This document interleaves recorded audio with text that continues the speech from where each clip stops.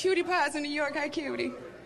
I met one today. I was shopping. Brother came up to me, asked me would I be free for dinner after the show, and I told him I said, well, nah, I'm not gonna be free. No, I'll be reasonable. Fuck that free shit. But he was a dark brother like I like him. And you can't you can't be too dark and you can't shut up, nigga.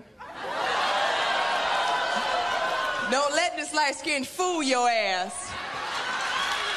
Cause I'm the wrong nigga to fuck with. Alright? Word to your mama, cause I come out there and cut your ass.